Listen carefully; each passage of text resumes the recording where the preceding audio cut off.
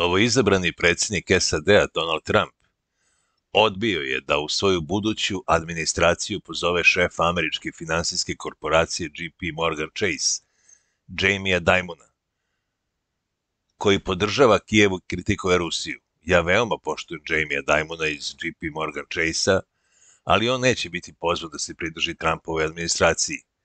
Zahvaljujem Jamiju na njegovoj izuzetnoj službi u našoj zemlji, napisao je Trump.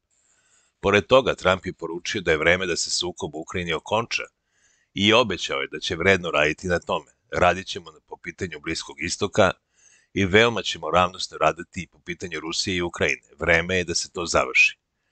Međutim, novoizabrani američki predsjednik nije otkrio detalje svog plana za rešavanje ukrajinskog sukoba. Ranije Damon otvoreno pozivao da se ne dopusti poraz Kijeva.